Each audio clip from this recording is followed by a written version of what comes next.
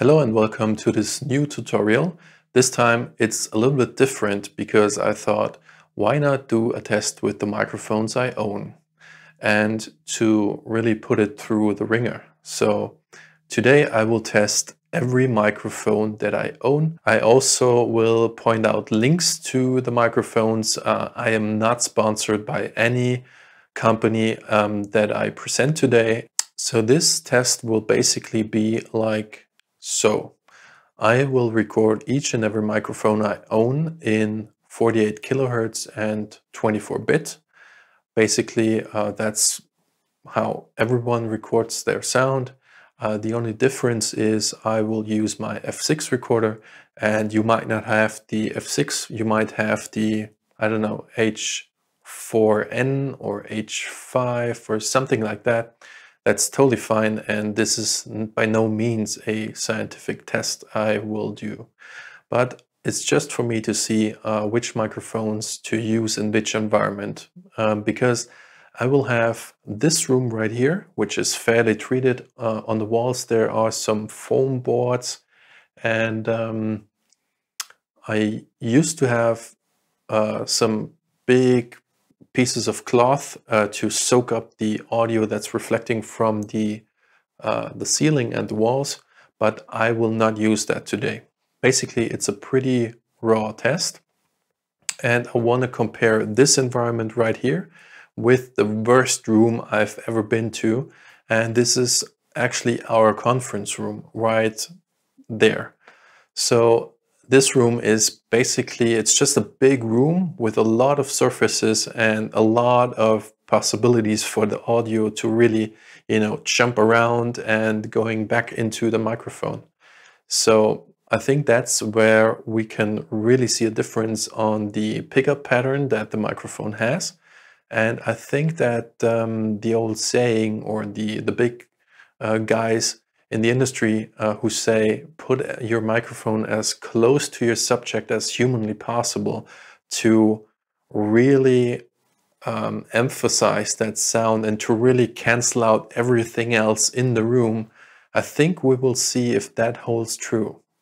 So let's jump right into the next room. All right, so this is the untreated room and there's a lot of space and a lot of different, uh, well, a lot of walls and a lot of things where sound can just, you know, bounce back into the microphone. I really am interested to see how my microphones compare um, to each other and how they perform. And this test will show you actually a comparison from all the microphones compared from this room up there to this room. All right, for this test, I have the lavalier and I have the Rode NT5.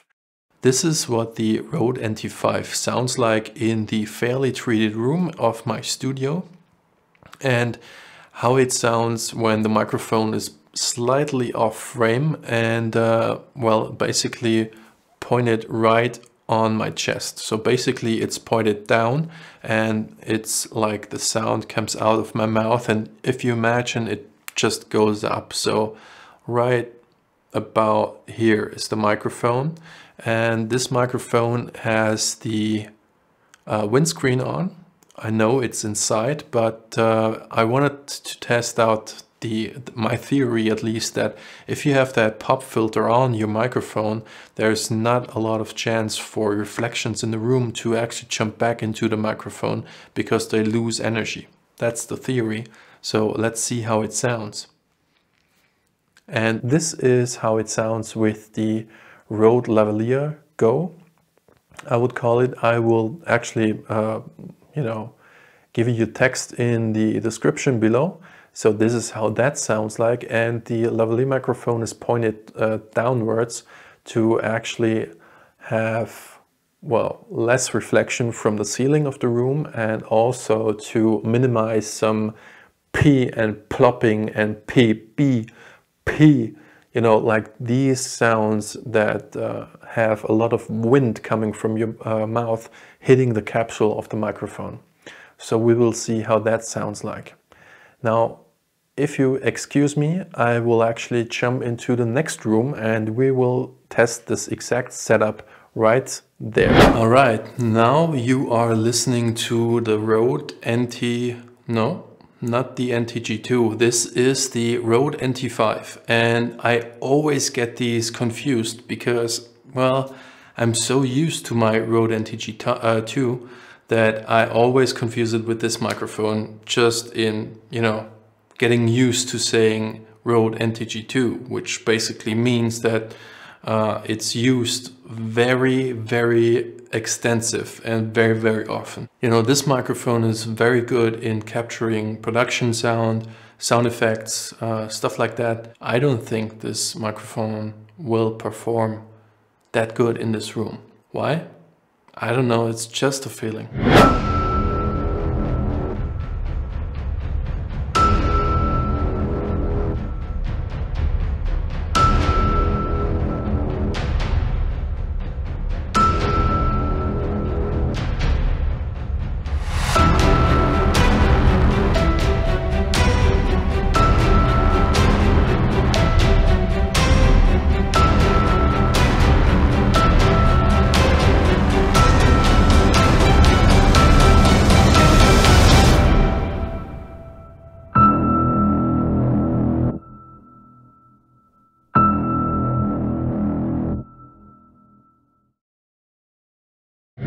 All right, so now uh, let's see how you can hear me now. Um, you can hear me now with the lav microphone and um, I forgot to say that um, usually I use something like this.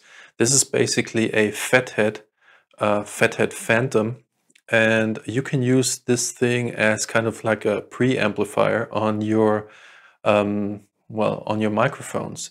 And it basically goes between your microphone and your cable that would actually attach to the microphone and then go to the recorder. But I decided to actually not use these things because I wanted to see how that microphone sounds without any additional amplifying um, except for the amplifiers that are already built into my, uh, my Zoom F6 recorder. All right, so now you can hear me uh, with the microphone that I actually used since I think 2008 or something like that. It's the microphone that is uh, the longest in my arsenal and it is the Rode NTG2. Um, I know it's uh, Rode, it's not Ro Rode, it's Rode. Rode? I don't know. I'm sorry, my Australian viewers. Um, I'm German, so, you know, I'm still learning. But this is the microphone that is the longest in my kit. And basically what I, I did was, since I'm recording myself and I don't know what the levels are until I sit right here in front of the microphone, I have my iPad right here. And what I noticed was the thing that I used um, a lot of gain to actually bring it to the level that uh, my other microphones were. So basically I'm recording this between minus 18 and minus 12 dB. Um, and afterwards, if uh, you can hear that clearer uh, in the post-production, it's basically no EQ, it's no compression. It's basically just uh, bringing it bringing it up to a certain level, and basically, uh, I think it will be minus 14 dB FS, meaning minus 14 dB full scale relative to full scale, and uh, I think I will have to use a limiter to limit it to minus three. So basically, effectively giving it um, about minus 16 to minus 17 dB full scale because videos in YouTube are usually mastered at around minus 13 to about minus 16 dB full scale and that's what I'm trying to do. So what I'm actually saying is just normalize it to 0 dB where 0 dB is basically minus 13 or minus 14 dB FS, but you can actually see that in the description. And uh, when I'm through the post-processing process, which basically will just, you know, turn up the signal B, um, I will let you know and I will write that down in the description. All right, so let's see how the Rode NTG2 uh, behaves in the terrible room and I have my suspicion. I think it will be terrible because it's basically built for outside. So let's see how that looks like in the other room. All right, so this one should be very interesting. It's the Rode NTG2 and it is in the most terrible environment that you can actually throw a shotgun microphone into. So this should be very interesting. And at that point in time, I don't know how it sounds like, but I would imagine it sounds terrible. So let me know what you think, but uh, I think that uh, in post-production we will know better. And I think that um, it will sound terrible. So one thing I noticed though, one of the microphones that I have, uh, which is for the ladies, because, well, they say, you know, it's a pretty big microphone. So this one is the one that I would actually bet my life on too. I think that this one is the best out of my microphones for this specific room, but uh, we will see. This is the AKG C1000S. Um, but I'm not sure. Let's see how that um, T-Bone EM800 performs right here. So now you can hear me with a microphone that I dearly love and uh, it's basically very, very, very budget friendly. And this microphone is the uh, T-Bone EM800 microphone. And I will actually uh, put it in the description down below so you can actually hear what that sounds like with just that microphone in, you know, almost in the frame.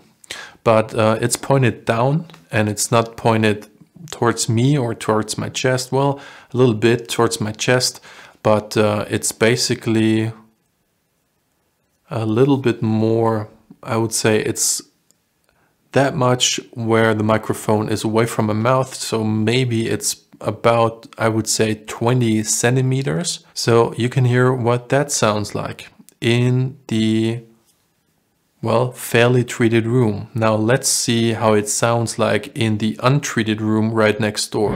All right, so this one should be interesting. This one is the EM800, uh, the T-Bone EM800. And um, when I actually took a look on the levels on uh, the gain setting, I was too high because I used the um, AKG uh, C1000S before.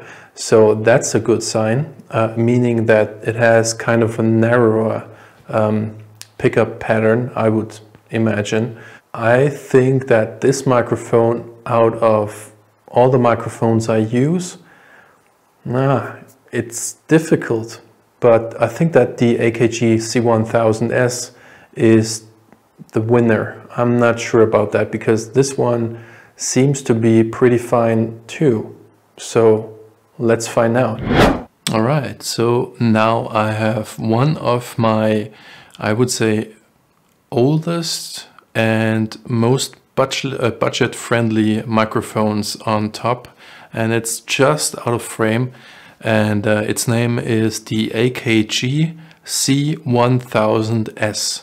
Basically, this is a microphone for, I would say, interviews and stuff like that and um, I'm really, really stoked to see what uh, this microphone brings to the table. Um, and again, I had to actually bump up the um, gain some more. And I'm recording between minus 18 dB and minus 12 dB.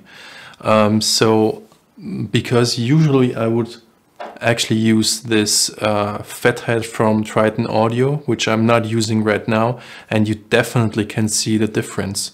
And um, to be honest, I uh, want to see how it compares to um, the other microphones, especially in the other room, because I think that in this room right here, it's fairly treated. And I think this one is, well, I think it's gonna be a surprise to hear it in the other room because I already had kind of like an impression when I did a small test in the other room. But uh, let's see if this microphone really performs out the other, most importantly, the more expensive microphones because the most expensive microphone I own is this one. This is the Rode NTG2. And to be honest, this is the only shotgun microphone I own because I saw it and I heard it in different tests and I still think this microphone is really great.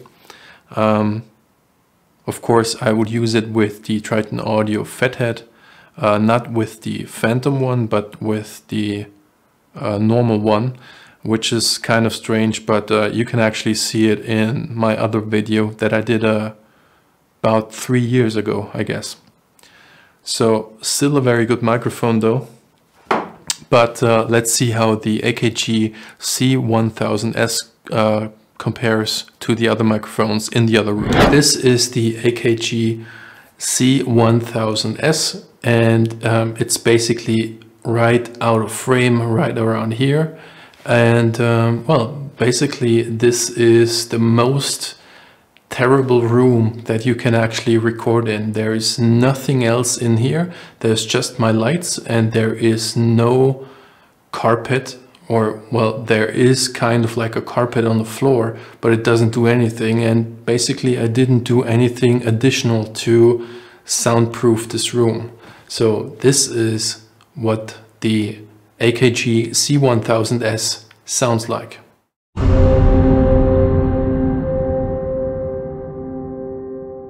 So this test will basically be like so.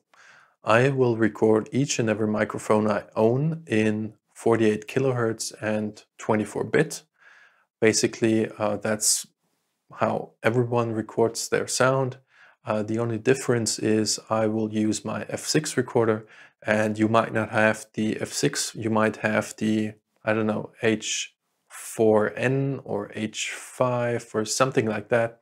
That's totally fine and this is by no means a scientific test I will do. But it's just for me to see uh, which microphones to use in which environment um, because I will have this room right here, which is fairly treated. Uh, on the walls there are some foam boards and um, I used to have uh, some big pieces of cloth uh, to soak up the audio that's reflecting. I really am interested to see how my microphones compare um, to each other and how they perform.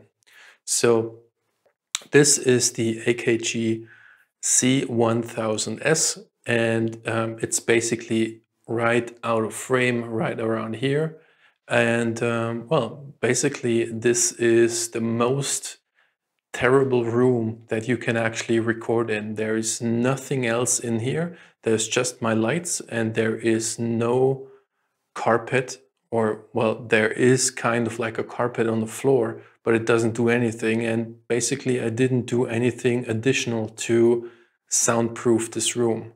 So this is what the AKG C1000S sounds like.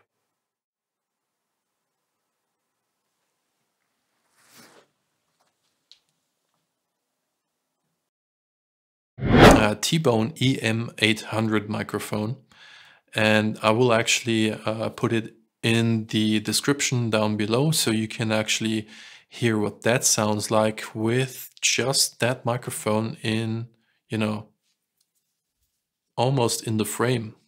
But uh, it's pointed down and it's not pointed towards me or towards my chest. Well, a little bit towards my chest, but uh, it's basically a little bit more, I would say it's that much where the microphone is away from my mouth. So maybe it's about, I would say 20 centimeters. So you can hear what that sounds like in the well, fairly treated room. Now let's see how it sounds like in the untreated room right next door. All right, so this one should be interesting. This one is the EM800, uh, the T-Bone EM800. And um, when I actually took a look on the levels on uh, the gain setting, I was too high because I used the um, AKG uh, C1000S before. So that's a good sign, uh, meaning that it has kind of a narrower um, pickup pattern, I would imagine, but uh, we will see.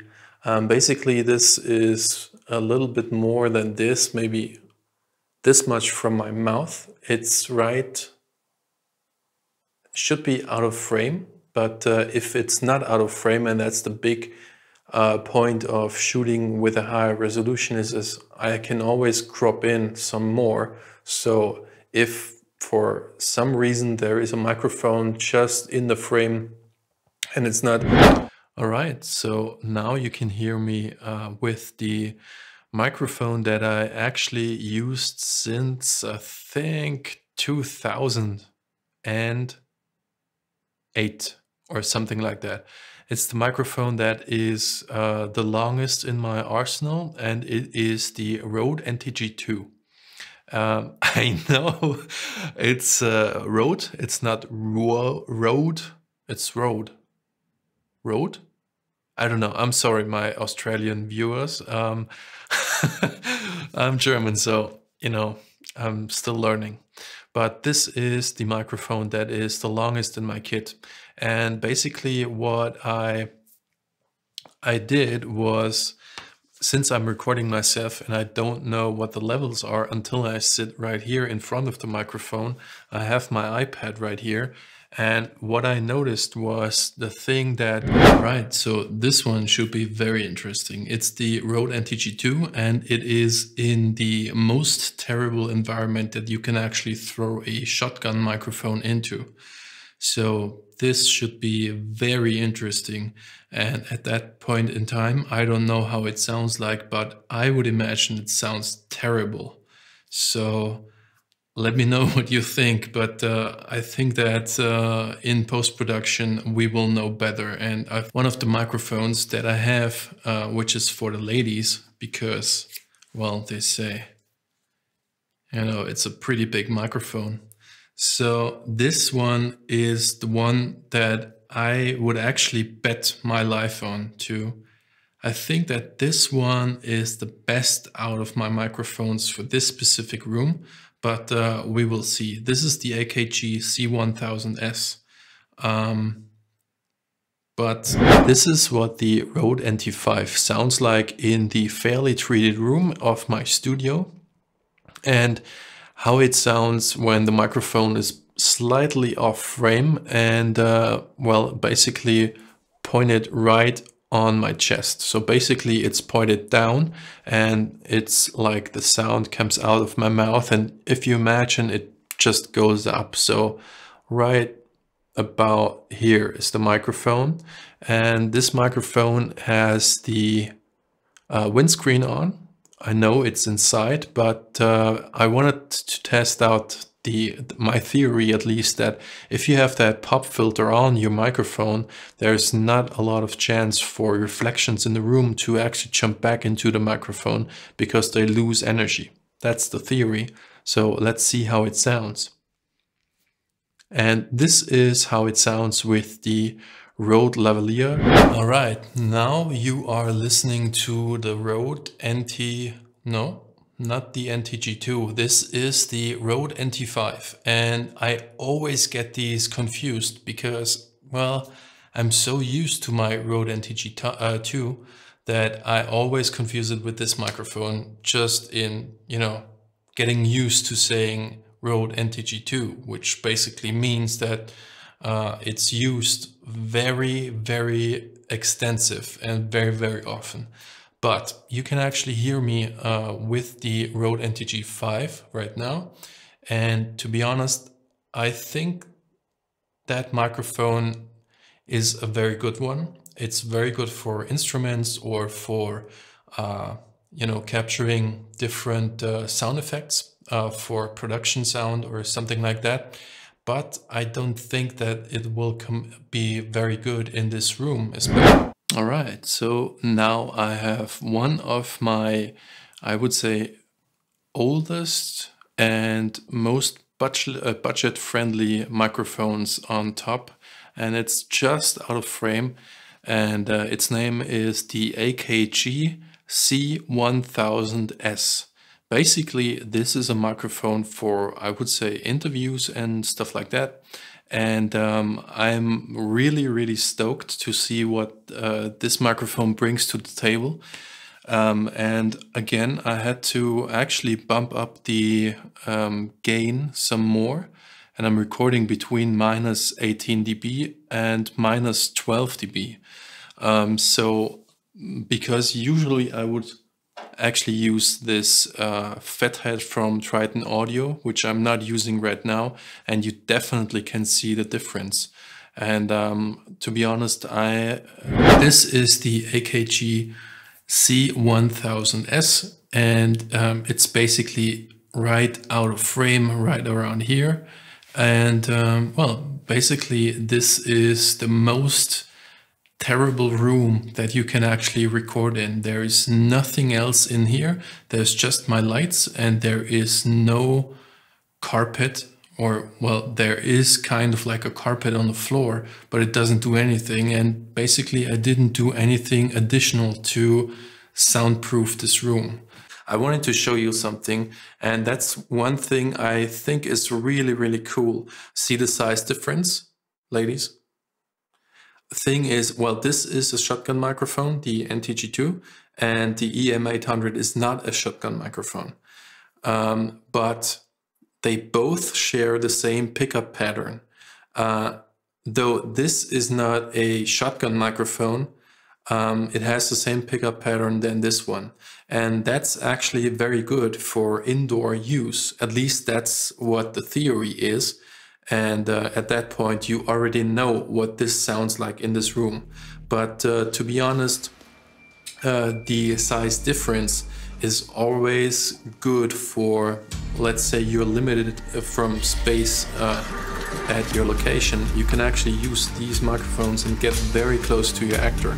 And these microphones are basically always in the way because the sound guy has to uh, point it down and it's kind of like always in the frame. And this one I feel like is easier to control. And you can basically stick a, a tape um, colored tape around the uh, pop filter. And then it's easier to see when you get in frame of the camera. So you can actually uh, use that as a method of not getting in the way but I think these form factors of the microphones are just great because it's not heavy, it's just perfect for small rooms where the ceiling height is, well, limited and you can use that indoors as well. So I hope you liked that video and uh, if you didn't like it, give it a thumbs down. And if you liked it, give it a thumbs up, of course. Um, how do you use microphones and what do you use them for? Uh, write it in the comments down below and I'll see you in the next video. Bye bye.